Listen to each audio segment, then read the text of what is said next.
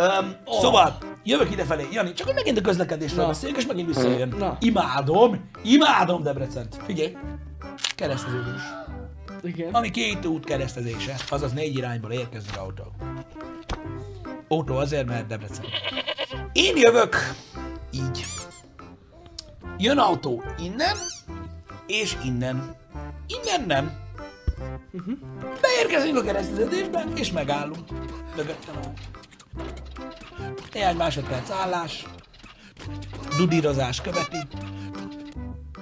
Ugye hát szembe lévő pöcsömnek a jobb oldalán nincsen senki. Úgyhogy mi várakozunk arra, hogy mozdulj már meg, bazd meg. Érted? Uh-huh. Az az autó, ami én itt vagyok, az az autó, amelyik itt innen jön, az így egy ilyen 50-es, testes, őszhajú úriemberrel volt megállva, nagyon aranyos, tudod, ilyen kis spekulás fejű, ö, idősebb csávó ült benne, valami Renault-ba, érted? Majd próbálom jelezni, hogy menjél már, bazd meg, csak a kezem nem tudom, hogy mutassam, hogy bazd meg, érted? Majd a felhúzott ablakokon keresztül hallom viszonylag eltömődött, távoli, elnyomott, ilyen víz alatti hangon az, az öreg úriembert, hogy mi a faszom van? Én tudod, eltűntem a kormány mögött.